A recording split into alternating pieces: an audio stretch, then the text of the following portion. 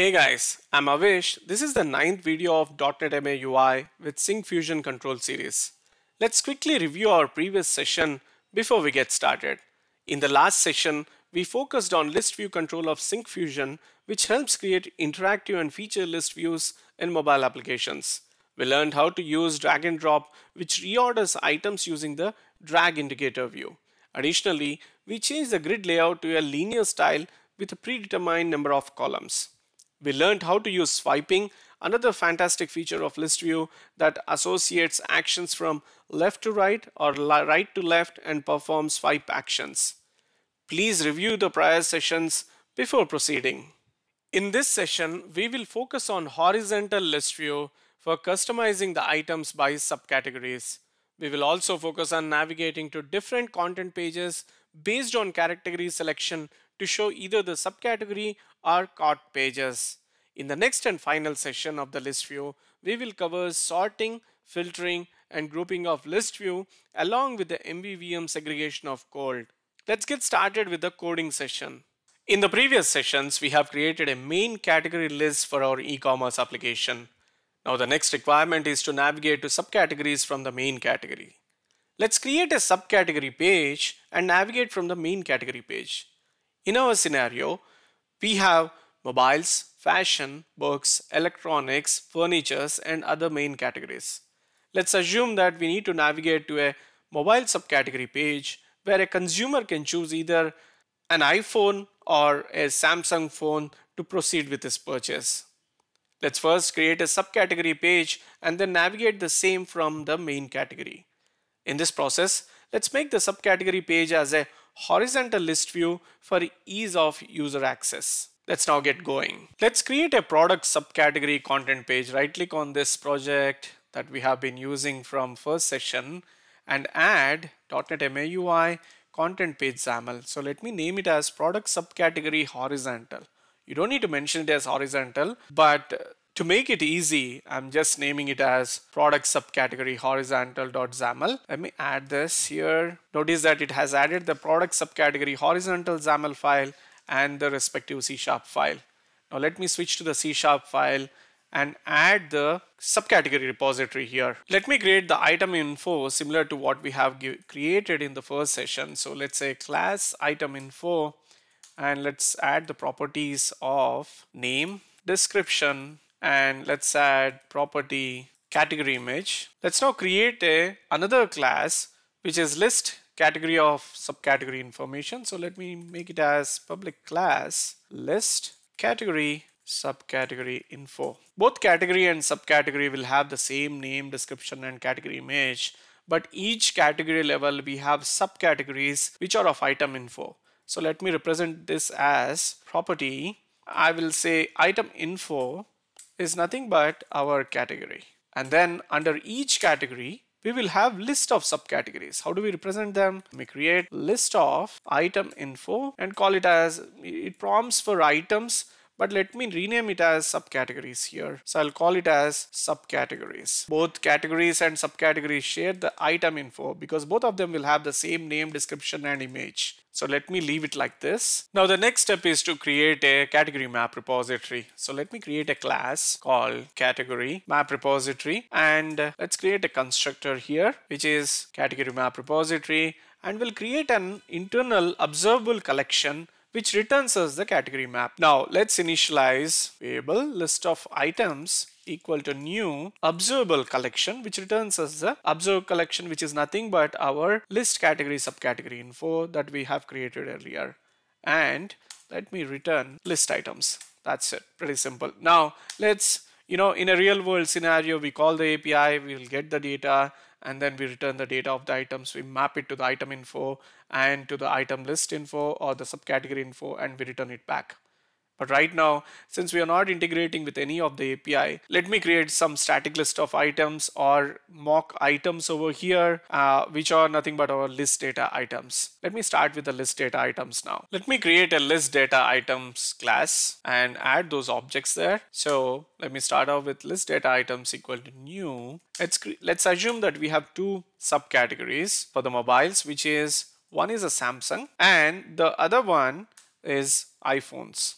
Uh, let me call it as new name iPhones. Let me now add the description and image over here for both Samsung and iPhone. So let's say buy all Samsung phones at cheaper prices and let me add buy all iPhones at cheaper prices. Now what I'm going to do is I'm going to add an image as well. So to make it faster, I'm copying it from my other window. Now look at that. I have imagekit.io. Remember in the previous sessions, I have been using the ImageKit library, which is our CDN, and I'm uploading all the images that are required that we consume in the application to reduce the size of the application. So I have pre-uploaded them to make the things faster. So please do the same when you are also practicing this application. Now let me switch back again and let me add subcategories here. Now what would be the subcategories for Samsung? It could be different phones or the mobiles that are available by Samsung company that are being sold on the online platform. So let's say we have A14, M04, M14, S23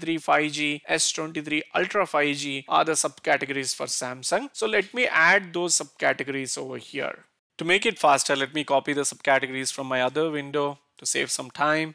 So we have all of these subcategories here. And let me also add the subcategories for the iPhone as well, which is enter and add those subcategories. Now we have all the subcategories related to Samsung and iPhone over here. Now once this is done, we have to map these categories and subcategories into our observable collection and return it back. So we have already done this exercise in the previous sessions. So I'm going to add that code over here that we have already returned earlier without wasting some time. So let me collapse this list data items and before returning the list, let's map all of these list data items into a list category and subcategory info and return it back. That's it. We are done with the repository now. Now let's create the layout view model that will be used in the list. How do we do that? Similar to the product category that we have already implemented in the earlier session, we will create a layout view model which generates the data source and returns the enumerable and observable collection. Let me create a layout view model class over here, create the constructor of this, and then let's create a property which is our observable collection which will be binded in the XAML. So we will call it as list category subcategory info and let me call this property as list category map details. And then we'll create a method which generates the data source which will be a private method. So let's say generate source. Now in this method we'll declare the object which is category map repository and we call it as repository equal to new category map repository and then list category map details equal to repository dot get category map. That's it. And let's call this generate source over here within the constructor. We are done with the repository. We are done creating the item info and we are done creating the layout view model. Now the next step is to switch to the XAML and start consuming these layout view model and the list category details. Let me switch to the XAML and start coding over there. Let's first add the list view namespace over here after this namespace declaration. And then let me add the XMNS local which points to the namespace as well. Then once it is done, let me remove this vertical stack layout. And instead, we will create the content pages binding context which we have been doing in our earlier session. Now this binding context will point to the layout view model. Now once this is done, let's create a content page and create the scroll view and the grid layout definitions. I'm doing it pretty fast because we have already done this feat in the last sessions. So let me create this and close this grid and scroll view over here to keep it ready. Let me also close this content page over here. Let's create a list view to bind items. Before that, I want you to take note of something in the list data items. The list data items are made up of collection of Samsung and iPhone categories as well as the subcategories. But which means in the real world, we will design a list view that iterates the categories first and then the subcategories. To link the category and subcategories, we need to create a parent and child list views. Let's create a parent list view here to make it faster, let me copy it from my other window. Let me explain you this. I have created a list view binding it to list category map details and we have created a item template here which has got a data template and within the data template I'm just creating a label over here which shows the main category name. The next step is to bind the subcategories within this list views item template. Our requirement is to display the subcategories in horizontal layout format. To achieve that, we need to use a stack layout and embed the list view in a horizontal orientation. Let me quickly achieve that. After this label, let's create a stack layout and within the stack layout, let me call the grid dot row is zeroth row and I'll put some padding here which I've tested out earlier and then I'll make the orientation as vertical don't get confused over here. And then I'll create a list view with the orientation as horizontal. Now look at that. We have another list view which is the child list view and is pointing to the subcategories. I've also defined other things such as orientation horizontal, item size is 200, height request as 350. So let me close this list view and then start creating the item templates under this list view. So let's go ahead and create the item template which will hold the data template and the frame and within that let me add this data template over here within the item template and close the item template over here. Now let me try to explain this to you guys. So within this item template I have a data template again and I've created a frame similar to the product categories in the earlier session and I have also added an image which will bind to the subcategory image or the category image and then we have the stack layout and the labels which is binded to the name of the subcategory. That's all it is. Now, if you look at this XAML file, we have the parent list view and we have the child list view which is binding to the subcategories. The next step is to add navigation from category to this subcategory page. Let's add a gesture to the product category XAML file that we have created in our earlier session we need to create a tabbed event listener and bind it to the tab gesture. How do we do that? Let me open the product category.xaml and within here under this grid definitions, we need to create grid dot gesture recognizers and we'll say tap gesture recognizer for the tab command over here. I'm doing a binding command to the tab command. Now I will switch back to the product category.xaml here and similar to the way we have added a delete and archive command, we will add the tab command here. So how do we do that?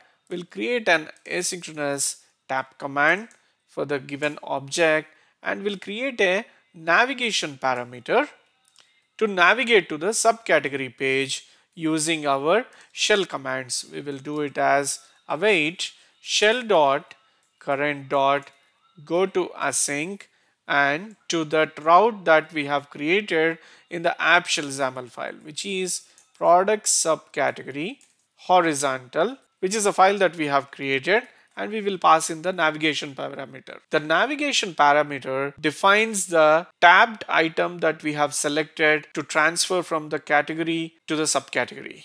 Now let me save this and run this application. The application is now up and running. Let me tap on the mobiles category.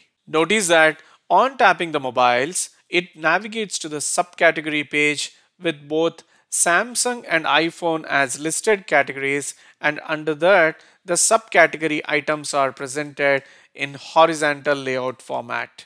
With this, we have successfully displayed the list view items with horizontal orientation using navigation. In the next session, we will focus on sorting, filtering, grouping, and we'll also segregate the code by MVVM pattern.